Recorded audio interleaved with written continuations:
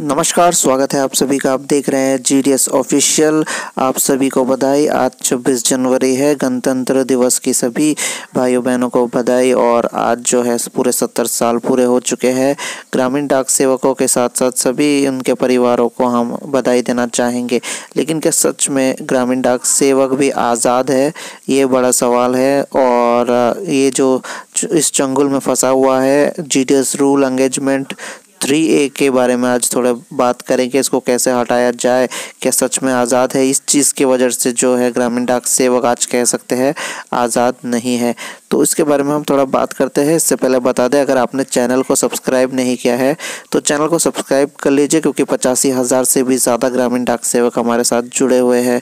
तो आपको बता दें सेवेंटी टू ईयर्स हमारे जो है इंडिपेंडेंस डे के पूरे हो चुके हैं। हम यानी स्वतंत्र है पूरे सेवेंटी टू ईयर्स से। और ग्रामीण डाक सेवक जो कार्य कर रहे हैं, एक सौ पचास साठ सालों से, आज भी आज़ाद नहीं हो पाया है।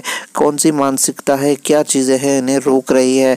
ग्रामीण डाक सेवकों को अब इस पर ज़ोर डालने की बहुत ज़्यादा ज़रूरत है। तो आपको बता दें दोस्तों rule three A G D S engagement और कंडक्ट रूल जो है, ये रोकता है। हमेशा ये बेड़ी की तरह सामने आ जाता है हर वक्त ये जो है, जितने भी डिसीज़न बनते हैं जीडीएस को परमानेंट को लेकर, ये कुछ रूल आ जाते हैं। तो आपको याद होगा, आज जैसे कि गणतंत्र दिवस से सत्तर साल पहले हमारा भारत का जो कॉन्स्टिट्यूशन है बना था, इसी तरह जीडीएस का जो ये रूल है, वो भी बना है, जो आखिरी आखिरी बार 2011 में जिसका अमेंडमेंट हुआ था, इसके जो है बदलाव हुए थे 2011 में कांग्रेस की सरकार रहते वक्त, कोई बदलाव इस, इसमें हुआ नहीं पॉजिटिव वही कुछ रूल है जो हमें रोक रोक रहे हैं। तो सबसे पहला रूल आपको बता दें जीडीएस रूल के बारे में हम बार बार बताते हैं, जागरूकता फैलाते रहते हैं।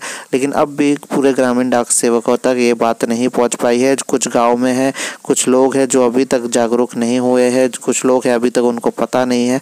तो कुछ मांगे हैं। इधर ग्रामीण डाक सेवकों को लेकर जो उन्हें उठानी चाहिए, जो वाजिब मांगे हैं, ना ही जीडीएस रिपोर्ट के पीछे पड़े रहना चाहिए। तो कुछ यहाँ पे री थ्री ए के बारे में हम बता देते थ्री ए है क्या? तो थ्री ए जो है, उसका कुछ पार्टों पार्ट में डिवाइडेड है, कुछ भागों में वो बटा हुआ है, जिसका पहला भाग कहता है, एक ग्रामीण डाक सेवकों को पाँच घंटे से ज़्यादा काम नहीं करने दिया जा सकता और ज़रूरत भी नहीं है। ये भाग पहला कहता है। भाग दो जो है वो कहता है दोस्तों कि एक ग्रामीण डाक सेवक पैंसठ साल से ज़्यादा नहीं काम कर सकता, जो कि ठीक है, क्योंकि सभी सेवन, सिविल सर्वेंट एम्प्लॉय भी इतना ही करते हैं।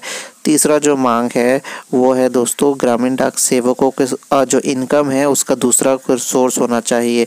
दूसरा कोई स्रोत होना चाहिए, जिससे वो इनकम कर सके। और ये जो है जो ग्रामीण डाक सेवक की नौकरी है, वो एक सेकेंडरी एम्प्लॉयमेंट की तरह होना चाहिए, जो कि जिसका हम विरोध करते हैं ऐसा नहीं है। दोस्तों, अभी कहाँ नौकरी मिलेगी? अगर आप पूरे दिन के सभी घंटे, चार से पाँच घंटे यहीं पे बिता देंगे जो इम्पोर्टेंट होते हैं सुबह के तो आप कहाँ जाके काम करेंगे?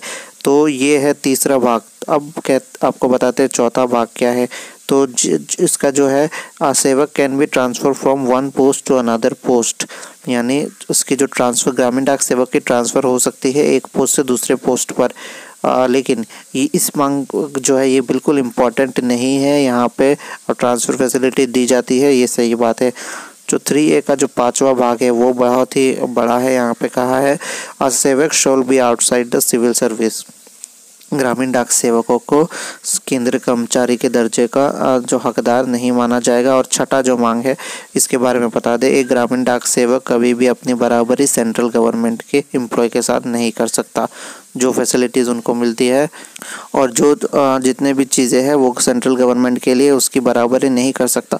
तो ये जो रूल है उसको बदलने की बहुत ज़्यादा ज़रूरत है। इस रूल को बदलने के लिए आपको अलग अलग तरह के यहाँ पे जो है अलग अलग तरह का दिमाग आपको लगाना पड़ेगा। यूनियन को खास कर जो कि इस पर ध्यान नहीं दे रही है। छब्बीस जनवरी तो ज़रूर है, आज हम इसकी बधाई भी देते हैं, लेकिन आज सोचने की ज़रूरत है ग्रामीण डाक सेवकों को कि क्या वो सच में आज़ाद है इस रूल थ्री ए से। तो दोस्तों, इस तरह की अपडेट्स आपको यहीं मिलेंगी। ये है 26 जनवरी का जो हमने एक स्पेशल एपिसोड आपके लिए बनाया। आप इस तरह के अपडेट्स के लिए बने रहिए हमारे साथ। धन्यवाद।